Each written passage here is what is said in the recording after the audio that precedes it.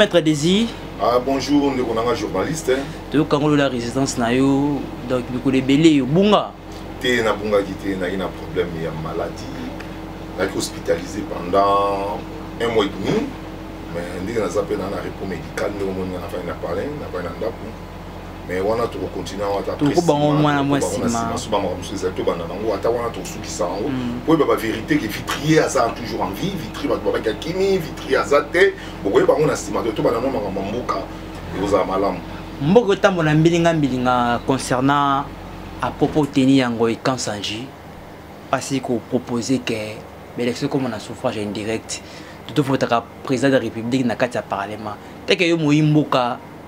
ozwaki yano wana ndenge nini oyebi eh, makambo oyo tokoloba na mboka oyo ezali makambo ya soni vraiment po tomona ke moto ola moikan sangi abimisa bapropos oyo ye abimisi eza vraiment soni eza vraiment dignité omoni mboka oyo congo ezali mboka moko ya mboka valeur mais entourage ya mise kabila basilisi congo valeur parce que kabila azalaki conduire na bato bazalaki mitema mabe oyo balingaki kongo te neti ngoi kan sange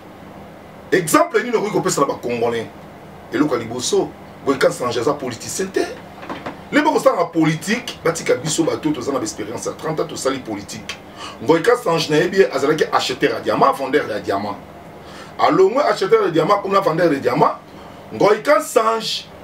aye kokoma guverner azalaki elie ya bato balingaki ye me na buzoba oyo ya ye me tala lelo ndenge ekomela ye yango nakamwaka moto mosusu koloba azali ya par exemple abimi o oh, juriste akomi maître avocat mais pendant yo oza guverner okozwa ta nini okende université mpo oyebake mingi baza na bafaux diplôme yango bakoyeba kotambola bien te bakoyeba droit te ya mboka parce que soki oza un bon juriste okoloba te moto oyo azwi temps ya kokende l'école obe bato bakenda l'école ake université akozala na temps chaque jour akenda université apart kaka jour kaka ya samedi dimanche bon yo sikoyo par exemple oza gouverneur okende université ndenge nini ya grande surprise tomoni kaka boye babimisela biso motu moko boye abima o oh, ageris te eza soni mpo na bango nalandi ye sikoyo tokota na mozindo nalandi sikoyo ngoi kasange biloko oyo alobi ndeko na nga journaliste nayebisaka bino bien avant plan oyo ezali plan ya mese kabila ezalaki plan moko mpo comprendre yango ezalaki mwa mpasi ezalaki plan moko mpo comprendre yango ezalaki vraiment mpasi yango lelo nakoyebisa bino ezali soni kokamwa moto wango eka change azwa audace wana nyonso wana mpo na nini mpo na babien oyo bango basala mabe balelo bakomi kobotola bango babien wana bakomi kozongisela bato yango vertige yo wana alobi ke kabila il faut azonga na pouvoir akozonga na place nini tokoaplike article 63 64 kabila eza na place akokota te ngoi kansa jo nayebi so eza verité eza soni yo ngoi kansange éducation nini oyo okopesa bato d'abord yo moko nao na kati ya ndako na yo tala mwana na yo impoli abangi nao chef de l'état te mwasi na mwasi mwana na yo afingi première dame donc okomonaka yo moko nanu boza na éducation te na kati ya libota na yo bapropos oyo olobi eza bapropos wana eza mpasi eza mawa mpo na komona ke biloko wana esalama mboka ya biso lelo depuis quand tokoma kovote baparlementaire bakoma kovote président de la républiqueyango nalingi nakomela yo mama papa élection ya pamba ya basénat tala corruption ndenge esalamaki élection mpamba ya sénat omoni corruption esalamaki ti bayibaki fort basali tricherie bapesi bamboku mpo na nini bavote bango mpo na 500 personnes eh, soki 250 personnes bavotele biso 500 personnes bavotele biso président de la république nyonso wana nayebisaki bino eza système bakosala mpo mese kabila azonga na place me na komona place kabila ozonga te eza nini ide na bango eza boye soki bakei na kati ya bavote président bakokorompre bato comme bango baza na mbongo ebele bayiba mpo na mboka bakokorompre bato babima su majorité ya moyibi le bakobima majorité ya moyibi bakosala nini papa journaliste directement bakotouche constitution bakotouche baartikle ba mosusu ekozala lokola ndenge na brazzaville eloko esali na brazzaville balongoli sikoyo oyo ya liboso eza lokola constitution ya liboso ekufi ekomi na deuxième constitution so batouche yango directement kabila azongi lokola abande lisu lokola a zero na biso mpona nini autorité morale na bango te kabila aza na pouvoir te mais tala baprofesseur tala badocteur tala bato oyo abwane ya mayele na kati ya kingakati bakotya deux colonne bakofukamela mutu bakoya lokola bana bana bakokende kelasi ezalaka soni mingi donc eyali mayele yango ekasangi comme badétruit mboka bakanisi lisusu ke kabila akoki kozonga na pouvoir mpo bazwa mayele babotola biso mboka mboka na biso ekotikala mboka na biso bango echec oyo basali bayebaki baplace na bango ekozala na prison babien ya bato oyo babotoli bato wana bakorécupere yango nga lelo nalobaka mingi natalaka boye otala politicien moko aleki na tv na radio akoloba neti bango ekasanji abi monsion akomema nango asala eloko akoloba te badepute na biso bavota bango babaswadisa bazama baeli soki badepute boloba makambo oyo ya lisembo na vacance parlementaire tala ba député mobimba hein. pendant la vacance parlementaire mpo bafanda na ba mboka na bango okomona neti ye ngoi kasange na kinshasa na avotaki ye ye alobi abimaki eli na kasait il fallait afanda na bato na bango kuna bafandaka kuna ti mais okoretrouve oretrouve ke tous les députés bawelela kinshasa batika babase donc il faut bake bayaki na intérêt bakosala politique ngoi kasange akosala politique ya libumu te ya bato te mais akosala politique ya libumu na ye omoni lelo ye katisa te politique yaki kopa badiama de kaka cate depute bamoni sikoyo mbongo bakomi kozwa eza insuffisant par rapport na oyo babande koyiba donc akotala sikoyo ah nakobénéficie par exemple salaire ya 12 000 dollars mais là nazalaki na ngai na 18 ans tokoyiba 100 000 200 000 contrôle ezalaki te eloko wana nayebi yo papa journaliste ekoleka te na pouvoir ou wapi to bando voter na donc bato moko ya moke bako bando voter na parlement bongo biso est ce que biso tokomi na niveau ya kovoter na parlement kutu eloko wana esali bango mpo na nini motema mpasi parce que président de la république alobi tokozonga na deux tour parce que so tozonga na deux tour le tokokende na dernier tour oyo bato bakotikala de il faut basalaka débat contradictoire mpo tomonaka na 2006 moko akima contradictoire akimi bemba alobi soki kutu bemba abimi akobeta ngai na 2011 bakimaki débat contradictoire biso tolingi sikoyo na débat contradictoire bayaka na baprojet de société toyebaka baprojet ya bato mpo tour moko mbala moko bobetika bomta bimi omate tour moko ya malamu te yango il faut tozonga na deux tours deux tours ndeko mobangisa bango eloko wana babimisa mpo na nini bango ekasange bamoni déjà ke côté justice baza lisusu te armée babloke bango bamoni déjà ke baperdre presque biloko ebele lelo l'état a récupéré justice na ye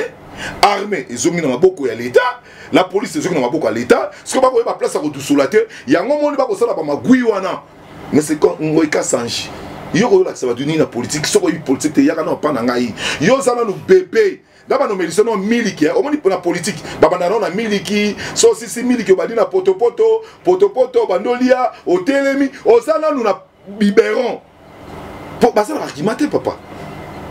nasi o comprendre makambo tokoloba na comprendre euh, mwana mboka maître besi tokende na motuna oyo ya mibale ezali likambo oyo esimbilinga mbilingama rencontre ya pasteur tordongo na martin fayulo tomonaki pasteur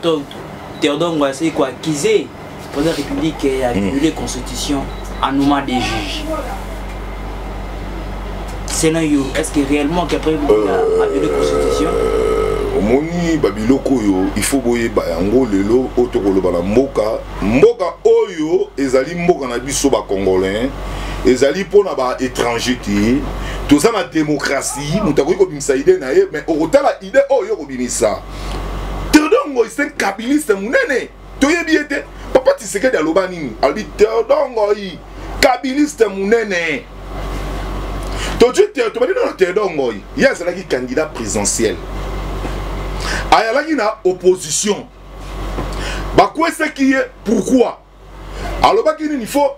bajuge oyo bakati sembo te lelo lelo bajuge wana bakoma baclient na ye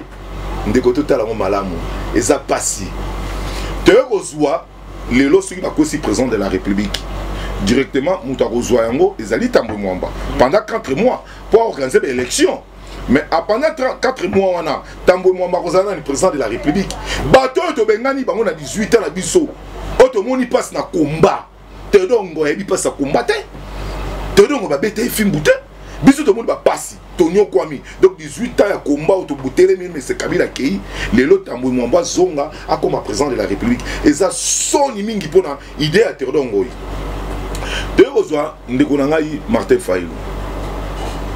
martin failu eloko asali eza mpasi eza soni ayokisi badiaspora soni bato oyo bakumisaka ye nayebisaki bino lamuka eza na avenir te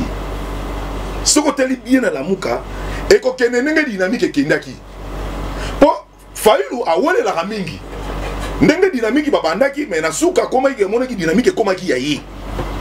donc toyebi ye bien est ce que bomonaka bemba alobaka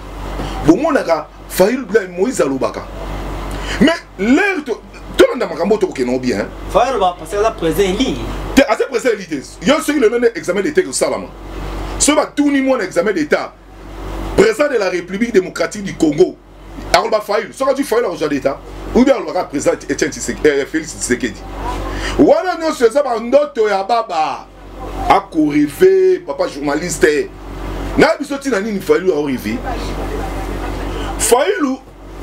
lere coronavirus ebandi na mboka oyo okolanda coronavirus ebandi na chine ekoti europe ekomi makasi na amérique tolandi batrump baporte parole ya trump alobi ke coronavirus na kati amerike eza te le fayulu alobi ka coronavirus eza te bango na muzitu bakimba baki ameriki wana directeur ya oms alobi na afriki awa ekozala danger bato bakokufa na ndenge ya mabe akomi na ameriki kuna libabe korona ekomi grave na ameriki akangami na korona sikoyo biso oyo totikalaki awa ba leader na biso lokola ba jean pierre bemba ba moïse katumbi ba frank diongo ba vuemba ba président félix bandimi bakufa na bapeuple na bango na corona est ce que yo monaki fayulu asalaki ata campagne ya corona mpo oyebaki alingi ne peuple te aza na susa peuple te pere abangi maladi alors sikoyo leke akomi kuna perti abungisi makanisi na ye ayebi na esu politike taleki non nalimbisi mais soki olimbisi olimbisi nyonso te azongi aye koloba ke badestitue président de la république tala buzuba oyo asali yo olobaki oreconnaitre eh, oreconnaitre oreconnaitre eh, nini eh, okoyeba nini te obabengango nini cour de cour constitutionnel olobi okoyeba parlement wana te mais ozwi lettre na yo okomi okei kokotisa yango na justice cour olobaki ke oyebi yango te se ke oreconnaitre bainstitution ya mboka omoni erreur ya liboso fayulu asali mboka mais papa tisekedi le papa tisekedi basali ye kanai papa tisekedi abaki na kokende na cour constitutionnelle te parce que soki nake na cour constitutionnelle akosala nini eza lokola nakei mpo paseke cour constitutionnel ezalaki ya kabila tomoni papa tisekedi akendeki te tomoni papa tisekedi abaki te nasala lettre badestitue président eh, félix eh, badestitue kabila na, na nini paseke abaki parlement na eza yango ya kabila omoni ete d'esprit ya papa tisekedi yango na bino yo aza lembelele na moma oyo tokoloba oyo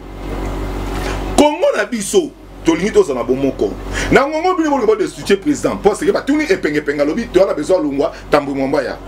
biso na ngongo tokolinga toyeba mai courant mobulu biloko tolinga tosenga président de la république mpo asekele tozalaki biso na lamuka lamuka eza ya motu te eya biso tu le toki na lamuka idee yakini toluka congolais oyo akoyede mboka ata fali biso oyaki président de la république tokoka kosoutenir yo ata yo journaliste tokoka kosoutenir yo ateki nani ata nani abimi soki aseki ya congolais oyo ayaki na combat tokosoutenir ye mais lelo lelo oyo tokoloba oyo ye akokise ke baoccupant bazali na mboka oyo me baoccupant wana muzitu aza nani muzitu azali camarade ya baoccupant na ndenge nini muzutu azali camarade ya gagame gagame elaka autaki rwanda mese kabila abengisaki awa muzutu moto akaka koyamba gagame na aéroport aya nde basala dine balia pendant deux jours kolegi na ye exemple nini bakopesa bato eza te tozwi meselisa nga bonganga oyo lelo batie porte parole babeba likolo ya makambo ya mike mokebai lisanga bonganga bazali bato bapesaki kabila babeki panda biso toza na baprison balisanga bonganga baza baministre ba journaliste tozalaka na bosembo totalaka komba ya bato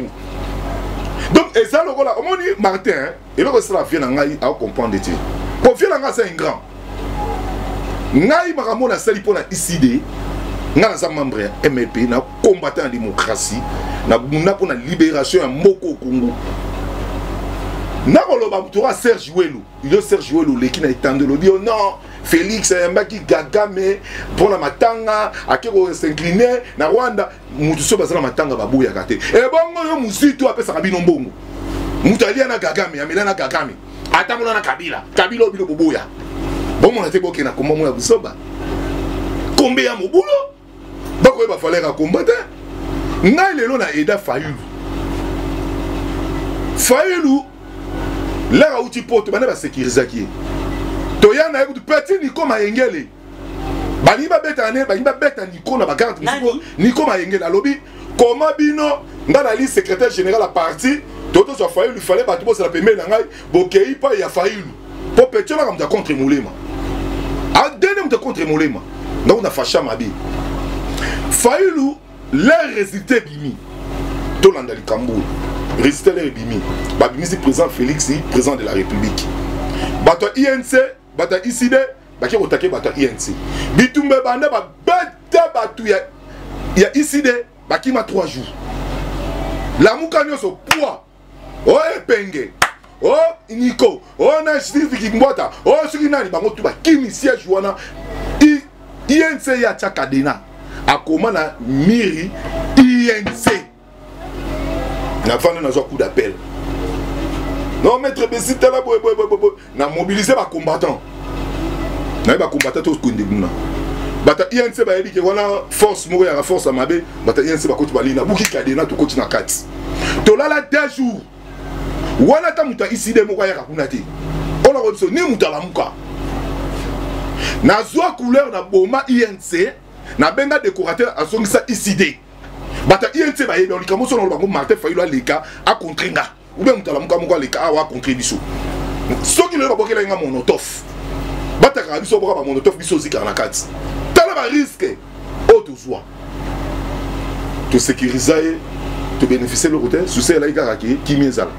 na kin na limete na yesi bacombatant bokitisa moto boboma moto kimi ezala banini banini ya nango démocratie bato mpe ya inc teme bayebi biso tozali bato oyo ke bacombatant basala baje te babangi kimi ezongi après un mois foyer loye kozonga na siège wana ti avant longwa donc tolobaka biloko mosusu omoni lelo tolingaka te makambo bakoloba ya batribalisme soko teli porte malheur ya batribal oyo tu euta na ka na bango comment nani ya nani akeleka na te fake elobaka ye makila egangi mokeba ye makila egangi tokoma dosa mokeba ye wana tokokona tokobetela lisolo nanu oyo avant tokoma na badossier oyo eza na kati bato baozela yango mingi dossier ya vital camere vital camere ezocircule trop vital camere akimi vital camere prison vital camere ne teka mpe yo moyi mboka oza mosaka ba recherche na yo kamere aza wapi au juste moni ndeko nanga journaliste ngai naza combattant ya démocratie ya liberté ya congo bato yango lokola blaki te eza te bato nyonso te balingana baplateau batelevizio bavandaka bakoloba n'importe quoi baloba mpo na congo eza na bato basacrifie corps et ame esprit na bango mpe makila etangi mpo na mboka oyo tolobaki nini banti valeur nyonso place na bango ekozala na prison corruption tokolongola yango na ngongo nakoloba na yo mese kamere azali na centre nganda aza maladi aza surveille aza toujours prisonnier aza surveille par 15 pem 10 policiers na quelques bato ya renseignement kamere jusqu'à présent akobimela nzela nini wana nyonso ezali babiloko ya bareseau sociaux kamere asalaki appel le 18 le 18 euh, ya mwa oyo lelo combien lelo lelo le 11 non le 18 kaka le 18 ka ya, ya, ya, ya septembre oyo kamere akosamba ti ani na pele ti akosamba donki bato ya mokili balingi balobaloba toyebi makambo nyonso bato bakopolitise bato bakoloba Kamere jusqu'à prison azali na prison yango mpe biso tolobi boye koma ndenge nini nakende na kati wana nao te failu na bapesaka ye convocation mais soki bapesi ye convocation nani bazwaki convocation theodore ngoy il faut baconvoke bawisie wana na bamagistrat wana magistrat wana bayeba be koma bino bobengisaka motu mais sukasuka bobimaka su gouverneur ebimi oyo oh, te tobengisaki ye te toyebi te ce que eza na je moko ezali wana koma bato bayebi ndako ya fayulu na fa de 1 mais koma bake kozwa convocation ne baketika mpo ya theodore ngoi est ce que theodore ngoi ndako ya fayulu ezalaka kuna il faut oyebake baje wana nyonso baje tokoyeba yango ya baje bata fcc nyonso wana tokoyeba babiloko wana yango na oyebisa bato bazala kimia bapeuple congolais oyo aza makasi ake na mokole na, na, na, na hopitali bokomona fanani kamere azali kuna kamere asengaki ba ba mise en liberté provisoire asengaki yango liboso ezalaki na grande instance aye kosenga yango lisusu na cour d'appel aye kosenga na cour de cassation donc babiloko na bamise en liberté nde nyonso expiré asu mpasi akosenga te akozela kaka jugement so esalami ebongo eh, bayeba ndenge ekokontinue na nsima sala tokoki ndoka eh, dossier ya de mwana mboka bazondongwana makasi komona daniel safu na mike mokebai oza mpe parmi oyo bato ovandaka na bango mingi mingi orite eza problème yango eza likambo yango nini oyo ba bien privé ekomi koyebana ti libanda omoni honorable mibale omoni eloko ekosala bacongolais eh, expérience politique en plus ela bazali bato oyo mingi moto na moto akoluka intere na ye moto moto alingi aloba ndenge ye alingi omoni eloko eleka na mboka na biso papa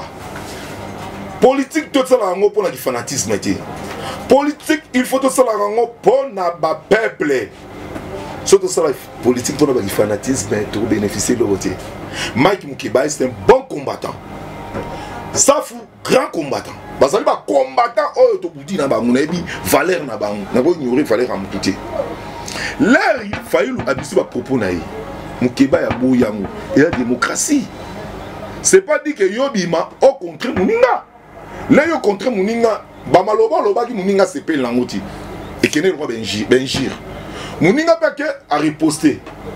mpo na nini nayebisa yo moto abandaka bayebaka te ya lokola nde moliere abandanga alo papa moliere lelo nga akoma motu mabe mpo nini nataka ye ndenge mpe na taka boketshu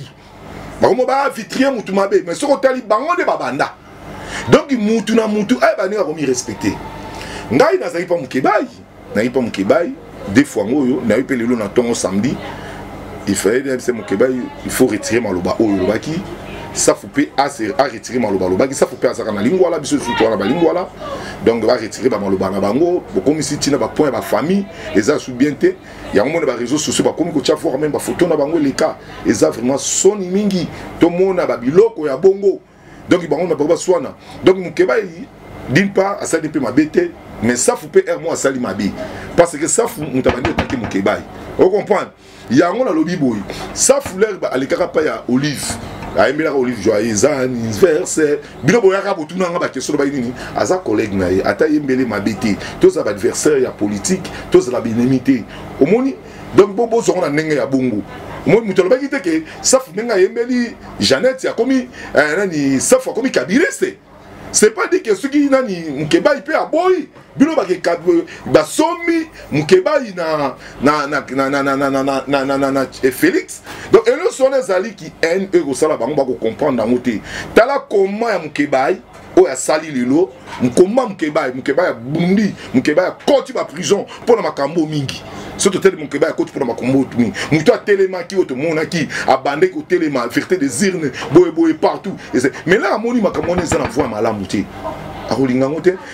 donc bango mibale vraiment na condamné bango parce que basali bainjure mais eza nango rien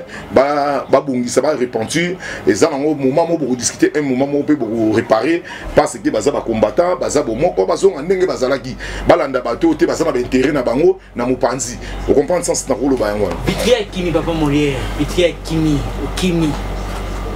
okimi okimi okimi papa moliere eloko epesa nga mawa nakoyebisa yo ngai besi nakimba kabila te ngai besi nakimba kabila te ngai besi maître besi zela nakostokoma te ngai nakima kabila te kabila azalaki na armée azalaki na la police azalaki na renseignement mais nakima ye te omoni mais c'est dit kaba hein comme yaka dit kaba lemba lemba comme yaka dit kaba omoni laka balota ba couper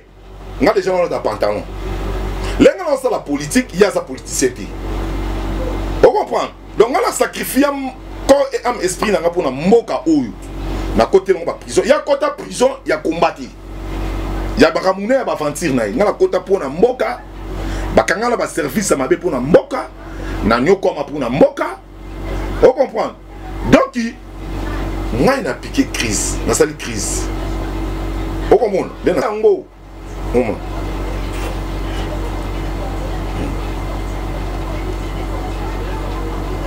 awa omona ngai bien na kati hôpital na masala ngai tison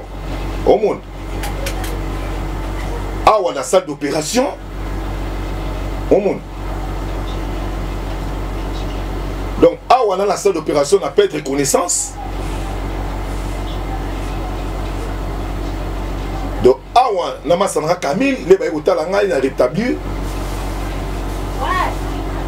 donc euh, wana makambo ya prison te yango nakoyebisa so boye pendant ce temps nga nazalaki na hôpital nga nakomi nakota eti bakoma donc na comprendre viol aza diable ndoki aleki na etando akolobaka vitrier bayoki voi ya vitrier vitrier akimi soit disant vitrier aregistre mutu papa journaliste ese bomona nga deja nasala nga natuna moto baquestion nga na journaliste oyo na chroniquer jamais nga na registra ye molière alo papa lembalemba alo molière alo oyoka ndenge afinga batufi banini me aleke na etando awangana voi na ye awangana molière awangana mais naza na epreuve nango parce que ti lelo ezalaka na telefone na nga na baoyo ya whatsapp ezalaka na telefone na nga soki tokei na airtel le 19 novembre na 13h20 et très très grandi okomona ba pete solola na ye ali jaloux aza esprit mabe aza politicien te yaka atiki ba ecope omona autosala motion moko omoni baseki ete ye aza bebe nasengai badébat contradictoire moliere yaka tovanda moliere soki okolanda nga tosala débat na makambo ya mboka tolakisa kikombatant na biso tolakisa kipoliticien na biso oyo tosalaka aza na barima te ya kovivre na bapoche ya kabila avivre na poche ya jeannette ngai navivre na poche ya motu te ngai nali combattant malheureux te me naza combattant résistant naza lokola lumumba naza na profit moko te naza na bénéfice moko te oyo nakendaka na komba nanga na intérêt soki naye na besoin intérêt mais lelo bato ya kabila bazwanga nabundaka nga moko donc aide na nga force na nga ezali nzambe à partir que natambolaka na moto oyo ozali grand combattant héros national héros vivant frank diong nakotrahi combat na nga te tala ye babiloko asalaka yo koleka na émission olobi ke ngai nakimi nakokima nini nakokimi nasali nini namoni omoni awa oye na résidence na ngai ti oye na ndako omoni bana est ce que ngai namona ata convocation so batindi convocation bayati mais babenga mpe baespere américain baye baduka voiture fo na nga mais ngai nakokangi ke ya voix na ye na bapele na ye c'est un jaloux ngai niveau na ye te okompana ya koleka ngai na libumu na ye akoleka ngai na kisongisongi ntango lelo nde babebaki na israele ntango lelo babebaki na pierrot mais pierrot na israele bakotelaka ye na émission oyo asalaka ya montage contre honorable frank diongo na nga baleli ngai nayebi soki bino boyebi ye te tala ndenge abeba na baliezer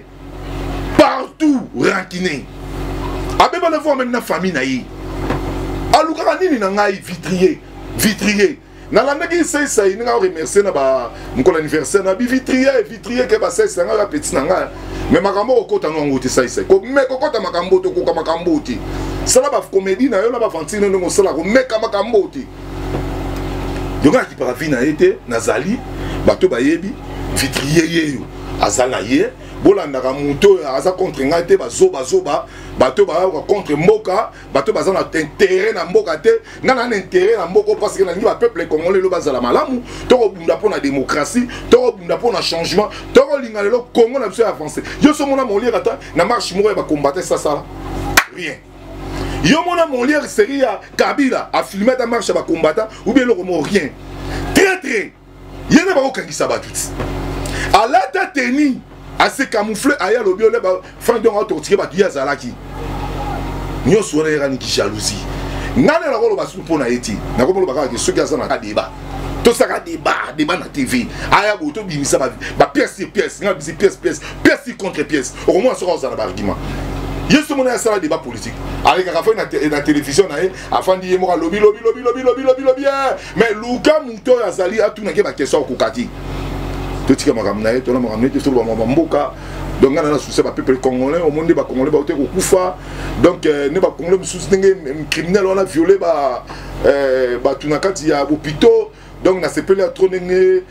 ba condamné bango ba prison en vie vraiment le lelo soutenir congo na biso congo na biso ezala malamu congo ekozala mpona koswana te congo ezala mpona koyinana te congo ekozala nde mpo congo etambola eza nde bolingo donc eloko eboma bato bolingo eza te baza nde na baintérêt personnel benga moto nga mwa ndenge nga fanda ma desina na kokorompe nga ngai ma bokorompe nga no mpo na kan chatile baotortire nga balobi na ngai nakosi na frank diongo makambo nayebi jamais plein torture eza nde kindoki ezaki motema mabe donc euh, makambo wana vraiment nzambe alimbisa ye eza ye te nasi olakisi bato nde nazalaki hospitalize nauti na baetat moko ya mabe donc nzambe omoni nga nasala émission na ndako te c'est pour la première fois nasala émission na ndako donc nde naza wana nazaka jusque présent na ndako naza na repos médical donc na 6 mois prochain nde na banda sikoyo kotambola merci maître besi liloba na suki ezali nyabe botala o partout na bon liloba na ngai ya suki ezali boye vraiment na remercier d'abord eh, yo ndenge oye oye mpo topesa bainformation ya mboka